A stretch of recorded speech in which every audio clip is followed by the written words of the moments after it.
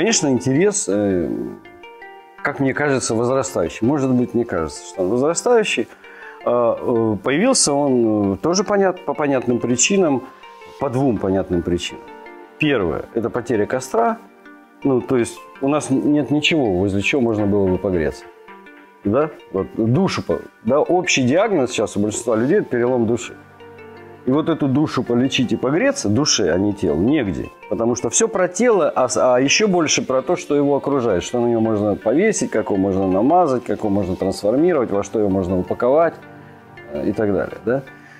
А, и поэтому вот эта э, внутренняя тяга к, к, к, или к малоизвестному, да, или к неизвестному вообще, опять те же самые вопросы, кто мы, откуда и куда, а, привлекает к себе или привлекается, вовлекается в разного рода духовные конструкции. Религиозные, мистические, там, эзотерические, э, теософские, теологические, как угодно. Беспорядочно, ситуативно, рефлексорно, рефлекторно.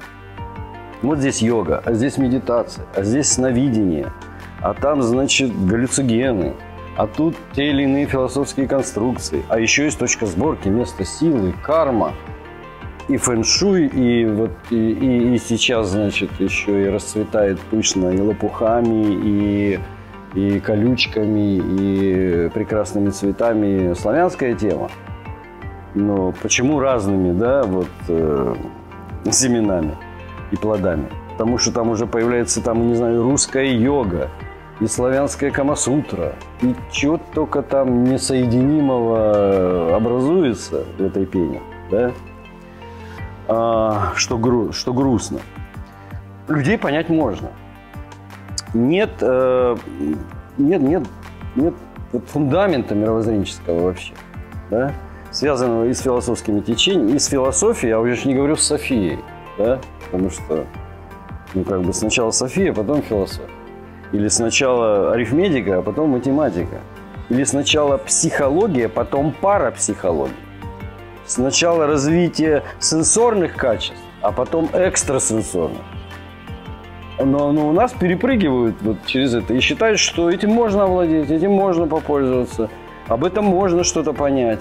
Это как-то можно применить. Невозможно это не понять, не применить, не этим воспользоваться не наведя порядок, не организовавшись вот внутренне и внешне, да, не став порядочным человеком, не упорядочив свою систему знаний о себе, мире, природе и космосе.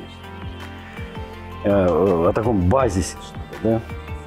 А уж тем более увлекаться или придумывать самим какие-то новые категории конструкции, ничего не ведая, не зная о тех, которые существуют там тысячелетия.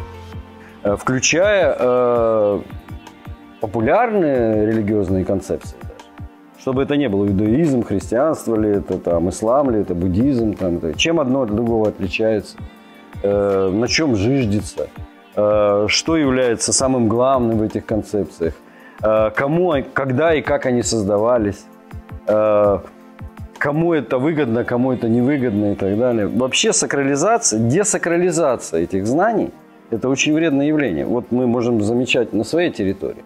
Если есть вера, то это сакральное – это не может быть светским. Это не может быть в школах, на улицах, транспарантах, на телевидении и так далее. Это десакрализация. Выхолащивание. Э, как угодно это назовите. Уж делается это нечаянно, специально или потому что, или, или из-за того, что этим занимаются не те, кем можно и кому должно. Вот есть такая проблема. И люди еще считают, что чем дальше, тем, тем интереснее, тем круче, тем таинственнее, значимее, эффективнее и так далее.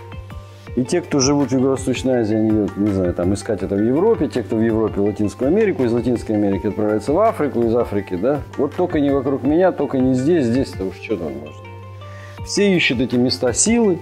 Главное место силы – это ты сам, в объемах собственной кожи. Вот это главное место силы всего мира – потому что здесь вся информация, все твои энергии, все твои э, генетические там э, и ДНК цепочки, все в тебе воплощено сейчас. И ты все это. А так вот где место силы? Он розетка 220 вольт. Вот это место силы, я понимаю. А если это какие-то развалины, потому и не развалины, что это уже не место силы. И оно никак не может какой такой силы вообще? Хочется задать. Или какой такой слабости?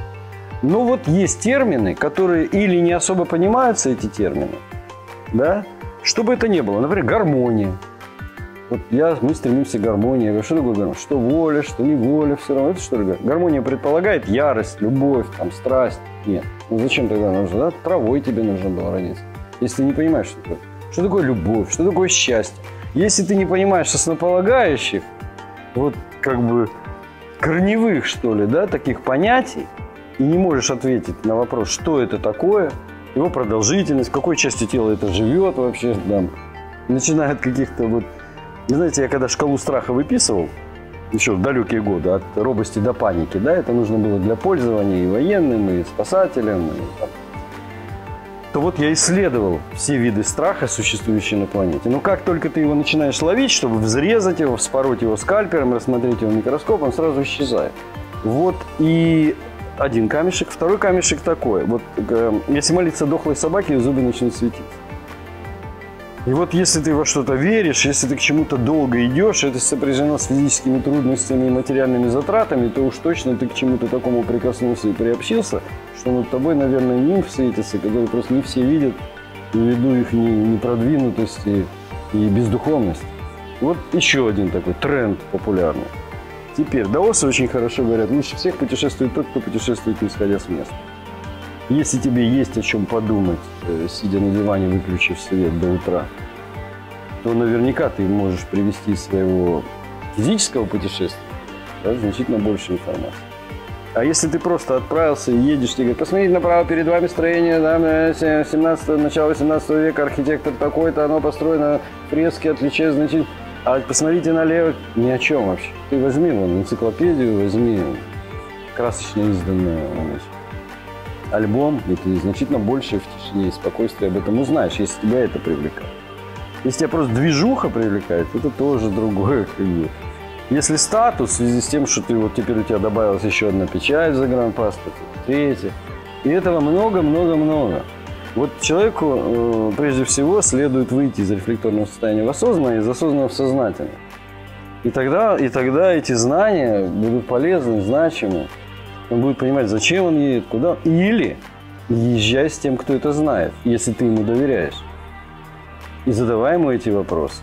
Потому что э, незнание передачи знаний – одна из основных проблем э, значит, у людей, которые являлись носителями этих знаний то в итоге эмпирически уж, по крайней мере, один постулат выверен точно. Само нахождение рядом с мастером образовывает тебя и, и, и просвещает. Даже если вы говорите на отвлеченные или совсем бытовые темы. Потому как он думает, как он действует, как он считает, как он дышит. Вот э, это правда. Это правда.